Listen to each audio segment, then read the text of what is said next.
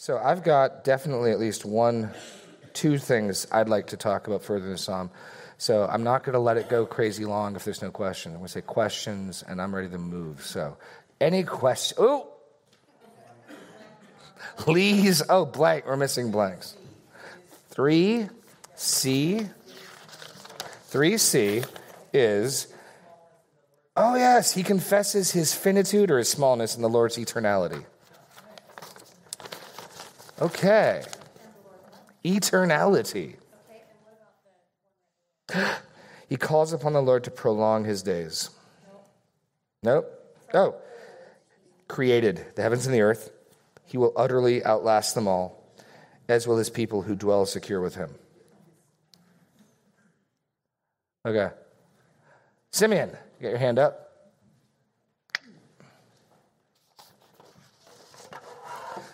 Grab a Bible here. That'd be probably a good idea. Okay. Simeon, what you got? Okay, I can't find the verse exactly, but it you were talking about how um, he was hoping in Zion and Yes. the coming and the future of it. How does that? How does Zion apply to us and that That's one of the two things I want to talk about. So All I'm going to pause. We will get to that. We absolutely will. But let me see if anyone else got any other questions. That's one of the two things I want to talk about. Great question, Simeon. Great question. Sarah.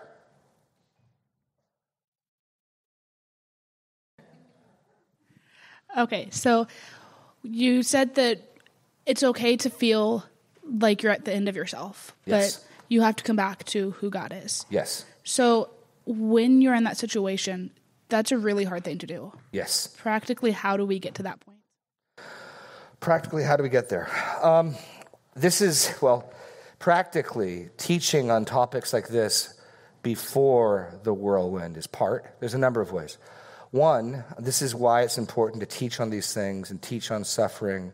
If you're sitting here today and you're not in the end of your rope and you can't remember a time and you're at the end of the rope, this is still a great, and you're tempted to think, I'm not clinically depressed. I'm not wasting away. I'm not, I'm in, I'm in a good season of life. So why do I need to listen to this?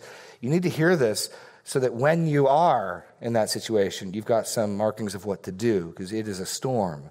So that'd, that'd be the first thing. It's one of the reasons why I'll try to emphasize trusting in God and suffering. It's really hard to tell someone that in the midst of the storm. It's really hard to tell. If you think God only does nice things, and then you have the child die, the job gets lost, the cancer comes, and you're grappling with that, it is really hard in that storm to learn you did this, right? To say what the psalmist says. So it's far better to, to get that. So there's a preventative, sort of prophylactic effect of this that prevent an ounce of prevention is worth a pound of cure of getting these things in place. That'd be the first thing. The second is um, this is why we need to gather together. Hebrews 3:12 warns us against um, beware lest there be in any of you an evil, unbelieving heart and falling away from the living God. But encourage one another day after day while it's still called today, lest any of you be hardened by the deceitfulness of sin. So, precisely because when I most need an exhortation, I'm most unlikely to give it to myself, is when I need other people. So, so being in fellowship and being around other believers. The other part is this instruction you may be in a good season of life. You may precisely need to walk someone through these truths who is so weak and is so out of their sorts and so desperate that they, they can't do this themselves. This is precisely why we need each other. So, another aspect of this psalm, you may not need to preach and teach this psalm to yourself. You may need to walk someone else through it. Um, that, that would be the other point. The third point would be if you recognize that you can, you can read books, you can listen to sermons, there's a lot of ways you can encounter a good teaching at your own pace, at your own time, in your own place, especially in today's multimedia world. Um, anyone want to add anything to those? Those are just off the top of my head ways you can sort of help yourself do this. Um, with the body of Christ, having some of these things in place beforehand. And so, and so what would happen if, if I find myself here, and I'll, and I'll do this sometimes, um, I am really upset or really anxious about this. Like when I had my MRI coming up, I'm really getting anxious about this. And, and there's an appropriate level of anxiousness for it. I mean, this psalm makes it clear. It's not, don't worry, God's in control, be happy. No, there's, a, there's an appropriate level of anxiety, I think. Ron's test, I'm sure there's a certain amount of Oh, he's gone. There's a certain amount of anxiety or apprehension before he takes a scan that I think's wholly prudent. If Ron came at it with a careless, que sera, sera, whatever will be, will be, there'd be something actually not right, I think, in that. This is a serious scan. It's going to give some serious results. It's going to indicate some serious things, right? It's weighty. Uh, the problem is we tend to disproportionately evaluate those things. So if I start recognizing, like, man, and the, and the signposts are things like, can I still take joy in God? Can I still find joy in, in being with God's people? Can I still feed from God's word? Usually I'm like, no, I'm too anxious. I can't read the Bible. I'm too anxious. I can't pray. I'm too, okay, that, now, now this is disproportionately large in my eyes. Okay. And if you have the sense of thinking this, and I don't do this all the time, the problem is I don't know when I don't do it. I only know the few times I do. So there are there God's by God's grace, there have been times where I've thought, what I really need to do is just take a big dose of reading about who God is. And either a passage in scripture or throwing on a sermon. John Piper is really good at God exalting things, making God big and bright, at least to, to my ears, he is. I, I, I find a lot of comfort from uh, getting a John Piper sermon. It's just going to lift God up, lift Christ up, and exalt him. And that's the type of stuff that'll usually help me. Okay, okay, I, I feel more balanced. It's kind of like a boat with ballast in the keel. A keel on a boat, and the weight, the bottom, stabilizes it even in the rough storm. And I think that a big view of God and his, I mean, I'm just directly ripping Piper off now. This ballast illustration is totally his. Um, but, but the, the, scripture again and again roots confidence in who God is, what he has done, what his character is like, is that ballast in the keel of a boat that stabilizes it in the midst of a tumultuous sea. And if you've ever, ever been in like a rowboat, something that doesn't have that, it's unstable, it can tip over, it's completely different than being in a boat with a hull and a keel and ballast that's stabilized. So that's, that's the short answered version to that. Anything else? Oh, Stacy in the back. I think you had said, does anyone have any other suggestions oh, in yes, relation I to Sarah's question? So Stacey's I was just suggestions. I was just thinking in a very practical way, since we know that we're instructed to recount God's goodness, uh, to recount His deeds, and there's plenty of places to go to in the Psalms, and uh, even Moses' song, just reading through what God did to deliver His people. But what's also helpful too is to keep a record of His works in our own lives, Yeah. which I know sounds like a really you know preschool mommy kind of thing, but It comes it's right real, out of- it's real it, helpful. It comes right out of this psalm. What, the, let this be a record, I think, most immediately applies to Psalm 102. So, no, you- you're dead on the money. A journal. Psalm 102 is the prayer journal of the psalmist. And, and partway through the prayer journal, let this be written for a generation. No, you're absolutely, abs- keep, no, keep going, but you're absolutely on the money. That's I- not a stretch or a mommy thing. That's a, that's a psalmist thing. I can relate to being in that place where it's hard to recount many things when you're in the midst of the swirl. And um, I think hymns are very helpful. They tend to come, uh, the verses of hymns tend to come quickly to me even more than memorize scripture. And so that's a helpful thing to have uh, at your, you know, at easily accessible. And then also just that, that journaling to be able to look back and, and recall specifically what the Lord has done in our own lives. Yeah, Ab- absolutely. Christian biographies can be really helpful as well. Although I'm sure that's not a, a, a genre of literature that's you know, just jumping off the shelves, but hearing about God's faithfulness in the life of other believers, or even finding someone. I mean, go talk to Phil and have, hey, Phil, tell me about God's faithfulness over the last few years. It'll start helping you remember both who God is and putting your own situations in perspective. It, it- with anyone who's gone through suffering, and who's going through it, if you live long enough, you'll suffer. Go talk to a saint and say, hey, tell me, tell me about how God's been faithful to you in tough times. I'm sure most people who've been a Christian for more than a few months will have something to say. Uh, you know, and so there's many, many sources. Uh, Greg, and then Carol. Carol's like, oh, you brought hymns up. I got something to say about that. Did you know that it is well? Sorry. Go, Greg. Well, I was just going to say one preemptive thing that I think it's important for all of us is to be involved in the lives of people around us. And pretty quickly, once we, I mean, if any of us turn the spotlight of our attention into ourselves, we can very quickly uh, end up feeling like life's pretty miserable for us. Yeah. But if we are deeply involved in the lives of other people. And I don't need to name names. I just other people. Just, everybody is facing th- stuff, uh, and as we see that, we we get a better balance. I think of how this isn't an aberration that I'm going through difficult times. Everybody goes through difficult times. Mm. I'm glad my difficult time is not as bad as that person's difficult time. And and I just think it's a a wonderful way to keep from becoming introspective and and um, and having those. I'm not speaking to you now, Sarah, completely, but uh, those difficult times when you think "woe is me," mm. and it, that's just a natural thing to do if you're thinking about me. Yeah. Uh, you just do that, and yeah. and uh, but if you're thinking about others, oftentimes uh, you think, well, what I'm going through is stinks, but it's I'm just glad I'm not going through that, you know, and it, it changes your perspective completely. Mm. Mm. Yep, Carol. Okay, well, this is this is going back to to Sarah's a little bit too, but I was thinking of the importance of the regular devotional time with mm. God. In college, we used to call it the quiet time. Mm. And uh, ideally in the morning, uh, I'm not a morning person, but you know whether you feel like it or not, when you're in the in the absolute pit, you go and you spend time with God, and you open the Word and you pray. And uh, you mentioned John Piper. I heard John Piper mentioned in a sermon once. He said something to the effect that he was wired, the way he was wired was to kind of wake up in the morning depressed. And uh, I, that wasn't his exact words, but that's what he was saying. Yeah. And I, I, remember when I heard that, I thought, wow, I'm not the only one. You know, and, and sometimes I'll wake up in the morning, I'll just think, oh my goodness, I don't know if I can even get out of bed.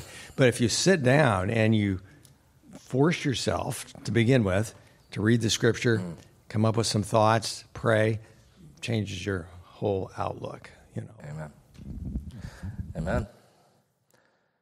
this is all. This is, okay, I, I, got distracted a second earlier. Phil, I got to. Can I use you? Tell one story. You're, it's a good one for you. You might be embarrassed. Just to give you an idea of how this stuff can affect people. I'm gonna I'm gonna embarrass two people at once here. Mark Sullivan, who's not here, told me about a time you told him that your legs were really bothering you with hives at Walmart, and you stepped outside and you saw a guy go by you who had no legs in a wheelchair, and and how that helped put things into perspective. And you telling that to him stuck with Mark enough that he told. I And there's like this ripple effect of encouragement and reminder that I want to highlight. I, I remember that day vividly because I, I, was feeling some of this self, not necessarily pity, but but why in the world am I having to go through this? And as I walked out that door, here comes a man in the door, younger, far younger than I am. Of course, most people are.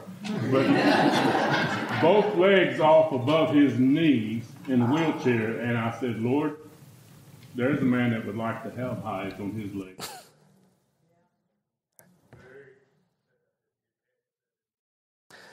And, and Mark, if you're listening, I only tell this to illustrate the effect of us speaking truth to each other can have.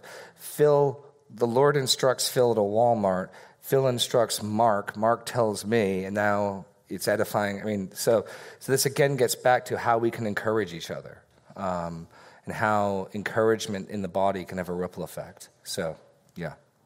Oh! I've always enjoyed the saying, don't count your troubles, you count your blessings. So, in our times of trouble, Ron and I have counted the blessings that mm. we've get, gotten mm. through church, family, friends you know, being able to live as long as Ron has. It's not something that a lot of people have had with cancer. Mm. He's, you know, lived a long life from his first diagnosis. Well, let's not forget you coming back from the brink. Yes. yeah. I think of that a lot too. Yeah. I'm just, you know, think of the blessings that I received yeah. from it. And that way I don't dwell on the doom and gloom right. because the blessings outweigh what that was all about. And that's that. I think that's probably the best litmus test of whether our because this comes back to what you were even saying. The Psalms deal with sorrow. Just because you're sorrowful, just because you're heavy burdened, heavy laden and burdened, just because you're groaning, and doesn't necessarily mean you are. Uh, what? What's going on? Sorry, you guys are done. I can wait. Sorry. Um, doesn't mean you're you're wrong, and that's one of the things I wanted to fight is this notion that Christians always happy. We're happy all the time. Oh no, I'm stepping on toes now. Um, and uh, no, read the Psalms. We're not happy all the time how do I know if my sorrow is too large? My focus is too much on myself. Can I press pause for a minute, worship God? Can I press pause for a minute, go minister to someone else? Can I look away from myself for a minute and look at God? If I can, I can go serve someone and I can go pray and I can go read the word. I'm probably doing okay. It's probably in balance. Certainly, if I can't, it's now too great of a matter. I've now things are out of proportion. So um, I, will use that as a good litmus test. Can I, can I stop and do family devotions with my family? Can I stop and pray with my wife? Can I stop and, you know, set aside my concern about X and, and focus on the Lord? If I can't, well, now I know this is, this is, I'm too worried about this. I'm too upset about this. Um, okay. Yes, Ron. Um, two things. Um, a couple months ago, a lady that works for me, um, just out of the blue, she said she had been praying for me and that um, God had burdened her heart to tell me that um, I was going to live a long life. So I thought that was, I don't believe things just happened, but I was just taken back that she would, you know, first of all, think about praying for me like that, and then she felt God had spoken to her. The other thing on Friday when Blanche had her scan, a lady in the office was her husband's has malignant melanoma like I have, and she was kind of expressing, you know, despair because of the seriousness. And so we tried to kind of share with her that, um, you know, two things. One of the main things is, you know, you got to trust in the Lord that God puts us here and that things happen for a purpose. And um, she just, you know, I, I wish I'd had more time, but you don't necessarily in a waiting room want to, and, you know, like, I heard a friend of mine say sometimes people only need a bushel basket; they don't need the whole trailer full of feed. So, right. brevity sometimes is the best. But right. I thank God for that opportunity. Right. I got ten minutes to deal with Simeon's thing. Any other burning questions? Oh, in the back. Okay, we'll the microphone. We'll do this quickly. I got to cover two big just, topics in ten minutes. Just real quick, we've yeah. we've been in the swirl. We've been in the crisis, and when it happened to us, there was a point I couldn't pray. Everybody had to take care of us. So remember, when people are in the swirl, it's hard to pray, it's hard to focus, but then the body of Christ comes right. in and you guys take over for the prayer right. and the needs and everything. So just which body is, of Christ which is, is why important. pulling back and isolating yourself is the worst thing you can do. The, the, that's what we tend to do when we feel overwhelmed. We kind of want to go hide in the corner. Like that's, and if someone's doing that, go find them. Don't don't believe them when they say they want to be like you know. Go be the person who's. I showed up with a you know, some scones or muffins. Let's. I'm, I'm coming in. You know, like get. Don't let people isolate themselves who are suffering. Um, at least not for long. Okay, Simeon's question and what I want to deal with. So. Uh, interpreting the Bible is, is let me let me bleed the two issues together to make one issue because I got ten minutes. Okay. Um, I want to talk about how Hebrews quotes this says, as I'm studying through Psalm 102, the commentators are all basically saying, we know, because Hebrews 1 quotes this, this is messianic. But I read through Psalm 102, and I don't see anything overtly messianic in it whatsoever. Um, we'll, we'll deal with this in just a second. Yet Hebrews is right. I'm not saying Hebrews is wrong. I'm saying the conclusion that just because Hebrews cites it to teach us something about Jesus does not mean necessarily. Psalm 102 is messianic.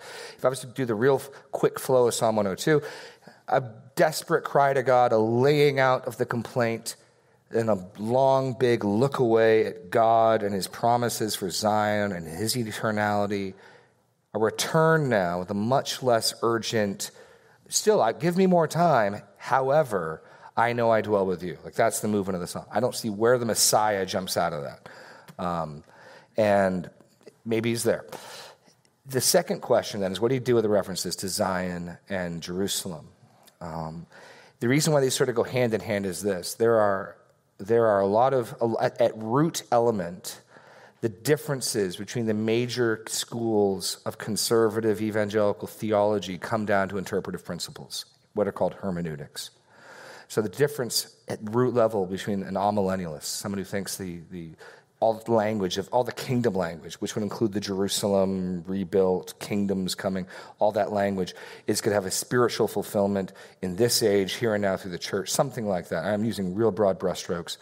Um, or, or a postmillennialist, or a dispensationalist, or a historic premillennialist, all those categories, good guys who I love, right, go to conferences and from those categories. When we get down to it, it's going to come down to interpretive principles, okay? Um, which then means figuring out how the New Testament cites the Old Testament and explaining it is crucial because at the end of the day, if you've got different hermeneutics, if you've got different principles of interpretation, how do you know which one's right? The one that most closely approaches the apostolic hermeneutic. In other words, if we're interpreting the Bible slightly differently and we, rec- and we can articulate and recognize that difference, we say, okay, which one of us is right? The one of us who's closer to the way Jesus, Paul, and the apostles in the New Testament cite the Old Testament's right. Okay? So, precisely because nothing overtly messianic jumps out of Psalm 102, is why many conclude spiritual interpretations are really valid. Because they'll freely admit, yeah, there's nothing overtly messianic in 102. You need Hebrews 1 to tell you it's messianic. You need Hebrews 1, as it were, to give you the answer at the back of the book. That's about Jesus, apparently. Okay, it looks, it's like that joke about the squirrel, right? You, you know that one? Youth pastor goes down, and the short, short version, trying to get the kids involved. Okay, I'm thinking of something. It's an animal. It scampers around the tree. It's got a big bushy tail. It collects nuts. What is it? Pastor, I know the answer is Jesus, but it still sounds an awful lot like a squirrel to me. Yeah, right. Okay. At least a couple you hadn't heard that. Okay. And I did the truncated version of the joke. Okay. So I'd like to take a moment to talk about why how, how this is used because once you assume, oh, the New Testament can find, if, let me jump back a step further. If you, there are difficult passages where the New Testament cites the Old Testament. There are passages where it's hard to get, in Hebrew, the book of Hebrews and the book of Matthew are probably the two most challenging in their citations of the Old Testament. Um, and understanding their rationale. You can be tempted to conclude under the inspiration of the Holy Spirit, the New Testament authors, without any valid prior reasoning, are applying new meanings to texts in the Old Testament. You, you might conclude that. I don't think that's the right conclusion.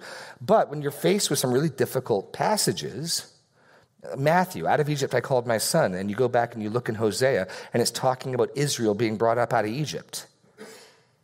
Oh, and, and one possible, I guess I guess we can just take Israel. And it's really talking about Jesus, I guess. You know, the Bible's talking about Jesus in all sorts of places where I never knew it was talking about Jesus, I guess. You know, it, it, one possible solution is that. Then that's going to set a precedent where you're going to be much more comfortable saying, well, I know it's talking about Zion and Jerusalem, but maybe it's talking about something else.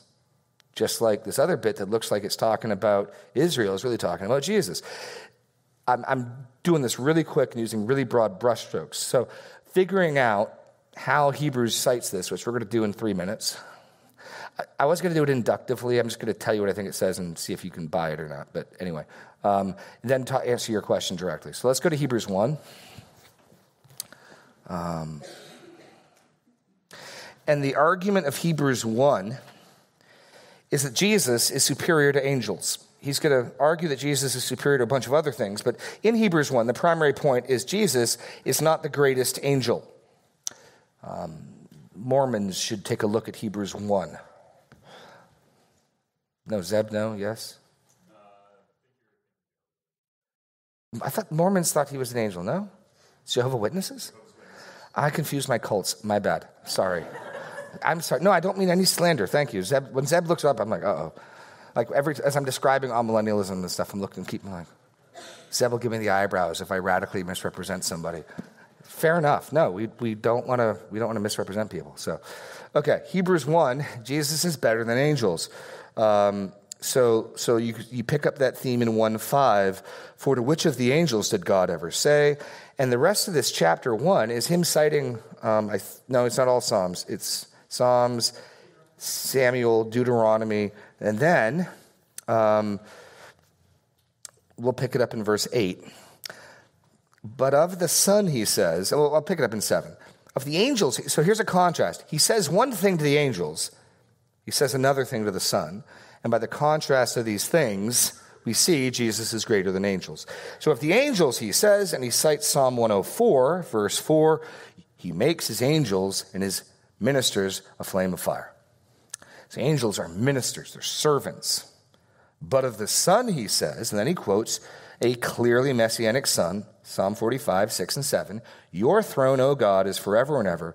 The scepter of uprightness is the scepter of your kingdom. You have loved righteousness and hated wickedness. Therefore, God, your God, has anointed you with the oil of gladness beyond your companions. That's Psalm 45, 6 through 7. And we're clearly dealing with Messiah King here, because remember, what is the word Messiah a transliteration of? It's just Hebrew, Messiah, which means what in English? And there's that word right there in verse 9. Therefore, God, your God, has messiached you. He's anointed you. So here's Messiah King, the anointed king, um, who has this throne forever and ever. And then he cites, and you, Lord, laid the foundation of the earth in the beginning, and the heavens are the work of your hands, but they will perish, but you remain. They will wear out like a garment, like a robe. You will roll them up like a garment. They'll be changed, but you are the same, and your ears, your years will have no end. And so some people suggest, even though there's nothing in Psalm 2 that I can see to indicate it, somehow, suddenly, even though the opening of the Psalm, 102, our Psalm today, is to the Lord, all caps, Yahweh, that at some point in the psalm, the psalmist of 102 starts talking to the Son. That's the suggestion. And I see nothing in Psalm 102 to suggest that. Nothing to suggest at the end, oh, now he's talking to G- about Jesus. Um, so that's the suggestion. So that, then that's where people can say, well, I guess, I guess, even though it may look like one thing, it really could be another thing going on. I don't think that's what's going on at all. I don't think in Psalm 102 the psalmist is directly addressing the second person of the Godhead. I don't think that at all. Um, I think the argument is as follows The Son has a forever and ever throne, in contrast to the angels who are ministering flyers. And Psalm 102 makes it clear, especially at that climactic passage of Psalm 102, there is only one being who is forever and ever in contrast to the stars and in contrast to the earth. There is only one who is forever and ever. So if the Son has a forever and ever throne, he must be divine. Because Psalm 102, in other words, all it's saying is, as Psalm 102 clearly lays out, only God, in contrast to all creation, is forever and ever which is most strongly made at the end of Psalm 102. You fashioned the earth, it's going to rot away like a, like a moth eaten garment. You endure, right? So God alone possesses forever and everness. And yet in Psalm 45, we hear the Son has a forever and ever throne. Conclusion Son's greater than the angels. I think that's the logic. So, answering your question, we're going to go two minutes over, going two minutes over. I, I tried to make this point in the message. For an Israelite, we know especially uh, there's a sense in which your loyalty to your own tribe is a good thing. Paul talks about his kinsmen according to the flesh, how he could wish himself accursed on their behalf.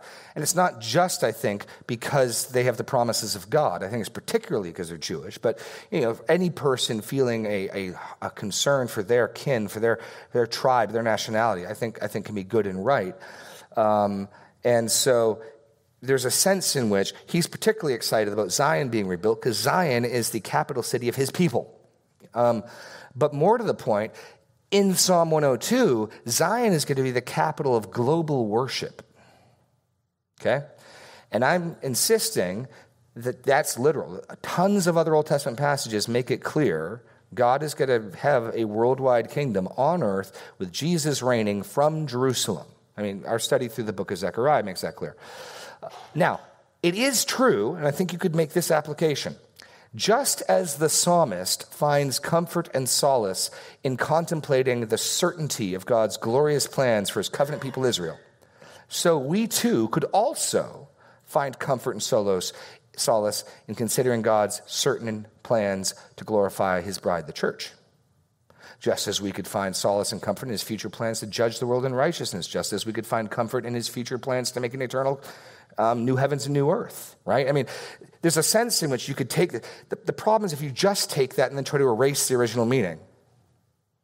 And there's no way on earth you're going to convince me any Israelite reading this wouldn't think we're talking about Jerusalem. To which the person that wants to say it's just the spiritual, did it ever mean Jerusalem? And if so, when did it stop meaning that? That, that would be my hermeneutic question. Did this ever reference Jerusalem? And if it ever did reference Jerusalem literally, when did it stop meaning that? Or, to the amillennialists, even when it was written, it was never about Jerusalem, which I think is a crazy stretch. Um, so, showing that the author of Hebrews is not spiritualizing the passage and finding presto changeo, here's Jesus at the end of Psalm 102, I don't think that's what's going on at all. I think the argument simply, Psalm 102 drastically shows the contrast that really only God possesses forever and everness. Yet to this Son, Messiah, King, he has a forever and ever throne. Hmm. I, I think that's the use in Hebrews, a literal grammatical approach helps us realize take, take these things you can do real exegesis and really work through it. It's not just matt well i guess it's about jesus you know which is i think frequently what we'll try to do. I mean if you ever get matthew henry's commentary he is finding jesus behind every bale of hay and every pile of stones. It's good stuff, but, but the Puritans, said there's exegesis, getting the meaning out of the text, there's eisegesis, reading things into the text, and then there's I see Jesus, which is spotting him everywhere. Um, and, and you got to be careful of that too. Like we want that if he's there, he's there. And certainly the New Testament can give us in, in, you know, indications and check our math. But it's all too easy. Here's the problem with preaching, and I'll end with this. If I tell you some things about Jesus, who's going to complain? The red cord coming down from Rahab's window is symbolizing the blood of Jesus, and people go, that's deep. Show me anything in Moses' mind, Joshua's mind indicate that. Maybe, no, maybe it is, but argue on those terms, not just because this shares a similarity with this.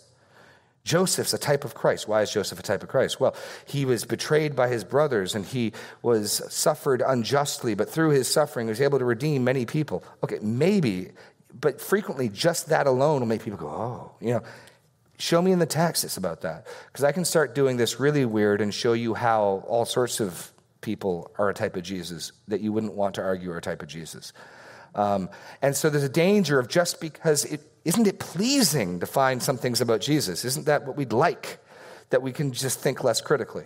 Um, and, we, and then you start getting a sloppy hermeneutic, and then you become an amillennialist. Um, okay, sorry. That's, that's a dig, completely dig. We're, we're closing it. Good night. Good day. Thank you. See you all next week. As before, before we get some mic, we're going to.